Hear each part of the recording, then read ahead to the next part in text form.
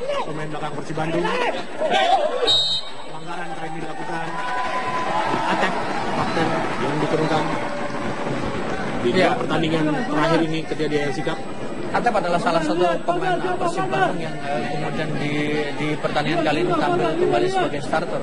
Eh, menghadapi Nuradian mencetak satu gol dan eh, sempat dikritik karena membuang beberapa peluang. Dan Atep sendiri mengakui bahwa dia tidak bisa memanfaatkan beberapa peluang. Pertandingan kali ini tampil kembali dipercaya sebagai starter, jelas harus menjadi sebuah pembuktian. Atep harus bisa memanfaatkan peluang yang mereka yang dimiliki sebaik mungkin. Tendangan bebas kali ini. Dilakukan langsung ya. Oh sangat berbahaya. Kita lihat sebuah tendangan bebas tadi dari Pia Pie Oo dan sempat hampir diteruskan oleh Naumo Friste Ya, pemain yang harus diwaspadai, pemain yang sangat baik, pemain yang sangat sempurna dari sisi skill, punya kecepatan, kaki kanan, kaki kiri juga eh, cukup berbahaya, punya kemampuan dribbling juga, kepalanya juga sangat eh, eh, Depan serangan dari sayap melalui Ridwan kita lihat. Dan tampaknya sedikit mengalami benturan di sana yang Supardi maksud saya. Umpan ke sayap kiri lalu jauh tampaknya. Ya POO bayang-bayangi oleh Deddy Kusnandar ada Haryono di sana. Menunggu para pemain Persib masuk ke darah pertahanan mereka.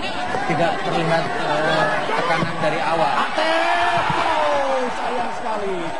Masih di atas mistar dari Van Lan Ruai sebuah eh, percobaan tendangan dari Atep. Saya rasa ini juga sudah baik dilakukan karena memang ada eh, jarak yang terbuka di sana Bu. Ya, ini salah satu kelebihan Atep. Kemudian eh, bagaimana dia eh, berlari eh, ke dalam, membawa bola dan kemudian melakukan shooting langsung. Hanya memang masih em, di atas mistar gawang. Atep, kapten tim kita lihat di sini pergerakan yang sangat brilian. Cutting inside dia masuk melewati satu dua dan kemudian di sinilah sebuah tendangan tanpa ancang-ancang dan sangat keras dengan kaki kanan salah satu kelebihan dari seorang Ya kali ini sebuah peluang bagi Persib Bandung tendangan di luar kotak penalti dan hampir saja kita lihat apa yang terjadi. Ah sayang sekali. Ya sudah sangat nyaman kita lihat para pemain Persib dan melakukan serangan dan terjatuh. Wasit Pratap Singh menyebabkan peluit terjadinya pelanggaran di sana dan menguntungkan tentunya bagi Persib Bandung. Ya kita lihat sini pelanggaran yang dilakukan tadi terhadap Makan Konate. Ya betul mengaitkan kakinya. Ya PO. Dan tendangan bebas tentunya untuk Persib Bandung.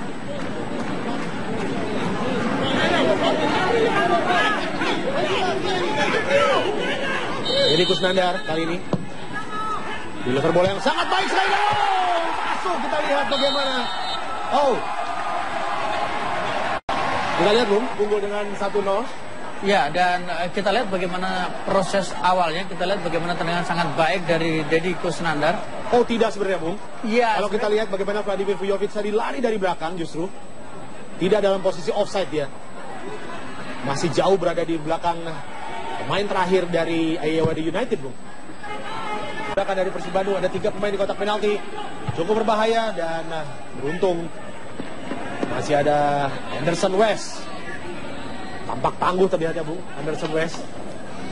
Iya, Anderson West tidak diturunkan ketika pertandingan pertama. Sekarang dia tampil, artinya Ayawada United menggunakan tiga eh, kuota pemain asing mereka. Ini bukti bagaimana mereka sangat serius di pertandingan kali ini. Mereka sudah mempersiapkan sebuah taktik, mereka sudah mempersiapkan strategi untuk meredam agresivitas dari Persib Bandung yang memang ketika menghadapi Nuradia terlihat begitu dominan bukan hanya ball possession tapi jumlah tendangan ke gawang kemudian jumlah uh, tekanan yang diberikan uh, Persib Bandung jauh lebih dominan. Dan uh, sebenarnya kalau secara taktik apa yang dilakukan oleh Ayawada United sangat betul. Mereka tidak mencoba untuk bermain terbuka sejak awal. Mereka uh, tidak melayani gaya agresivitas yang biasa dimiliki oleh Persib Bandung. Ayawada United cenderung untuk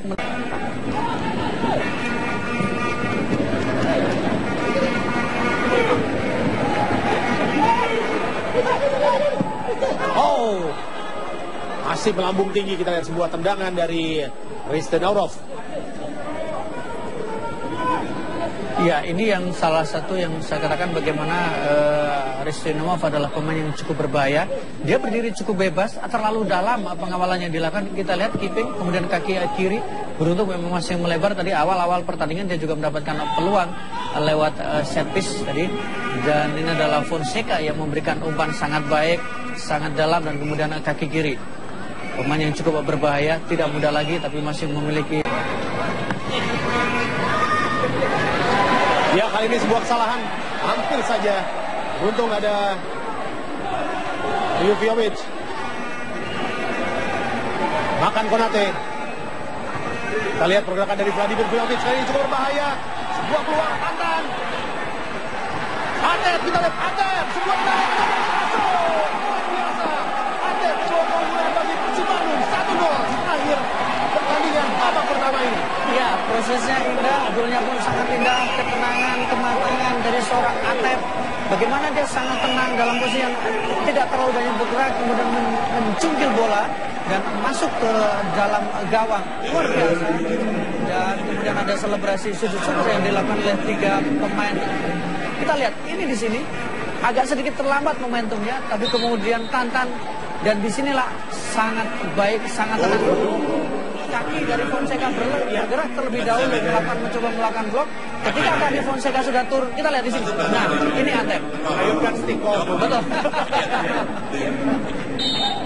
Dan kita lihat ini pergerakan dari Tantan ya. Betul. Seperti Anda bahas. Tidak perlu mencetak gol, membuka peluang, memberikan peluang kepada rekannya, dan akhirnya juga menjadi asisten. Ya, ini adalah eh, sebuah kolektivitas dan ini yang yang menarik dari Persib Bandung, eh, terutama apakah ini efek dari seorang Emerald Abus, pergerakan pemain-pemain tengah dari Atep, umpan dari Atep cukup baik dan sayang sekali. Ini masih dalam penguasaan para pemain Persib kali ini. Supardi, dan dia bertahan juga sangat baik. Saya pikir dia punya potensi untuk menjadi salah satu gelandang eh, atau playmaker yang cukup menjanjikan. gagal kembali. Ya, sangat berbahaya memang pergerakan dari Homo Friste ini jika dibiarkan. Kita lihat di sini. Andai mencari peluang dan hampir saja bisa menjundul bola dengan sempurna. Jika ini terkena dengan sempurna sangat berbahaya, Bung Aruf. Iya. Terobosan yang sangat baik sekali.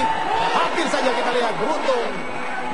Cover yang dilakukan sangat baik tadi oleh Vladimir dan kecepatan dari Made Wirawan untuk menggapai dan menyelamatkan bola tersebut Iya, dari ancaman. Ini, ini kembali eh, ada longgar di sini, ada sprint dari Fonseca dan eh, beruntung eh, seorang Made eh, keluar pada saat yang tepat. Dia memotong bola, tapi ini yang saya katakan lini tengah mulai agak longgar. Pergerakan yang sangat cair, kemudian Fonseca juga sprint yang sangat bagus. Hanya tendangannya memang agak pelan, tidak tidak ter. Haryono menghilangkan bola kembali Haryono cukup berbahaya kali ini pergerakan dari Fonseca masih Fonseca tendangan keras dari Fonseca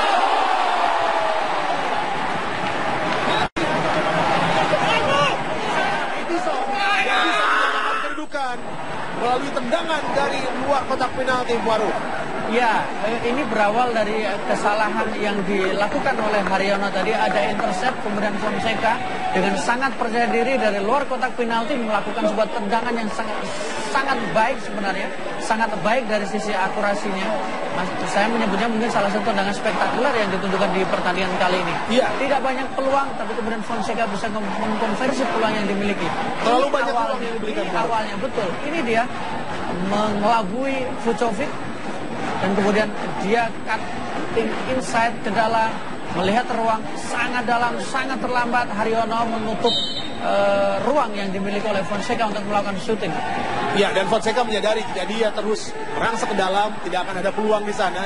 Dan di sini juga para pemain Persib terlalu banyak menunggu dan memberikan luang yang luas bagi Fonseca dan melakukan tendangan yang keras.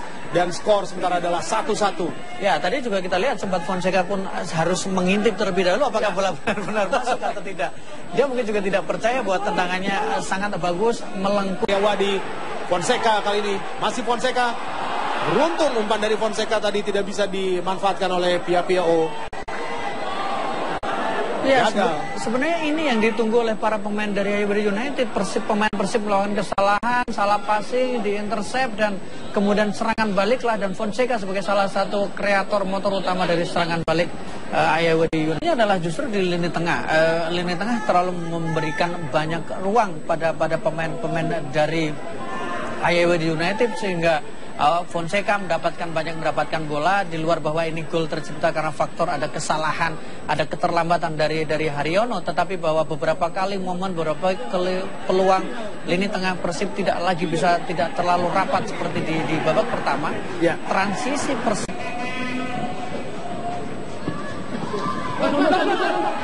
Cukup baik dan hampir saja Vladimir Vjovic tadi bisa memberikan umpan kepada rekannya. Kembali lagi tendangan penjuru kali ini bagi Persib Bandung.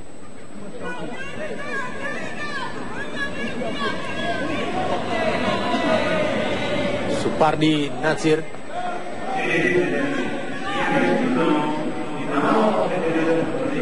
Sudah dilakukan. Kembali lagi keluar. Kali ini dibuang oleh Anderson West.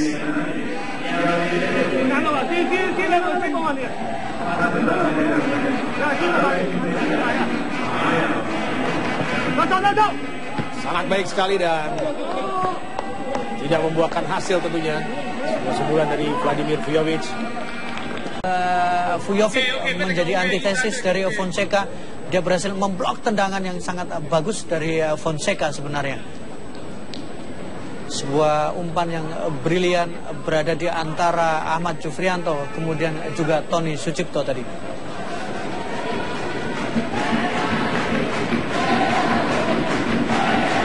Ya, tendangan penjuru kali ini untuk Ayawadi di saat-saat akhir pertandingan. Ayawadi menghadapi Persib Bandung, lanjutan dari AFC Cup 2015 Grup H. Kita akan lihat apakah akan terjadi drama di saat-saat akhir pertandingan ini. Pia POO akan melakukan tendangan penjuru. Kita lihat juga angin kencang di Stadion Wana YTC.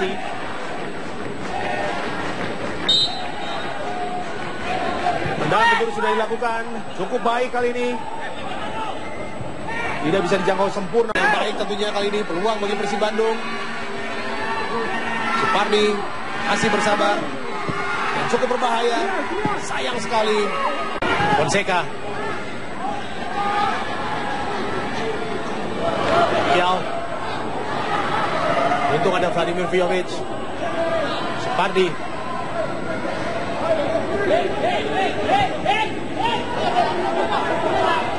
Ahmad Jufrianto. Langsung ke depan.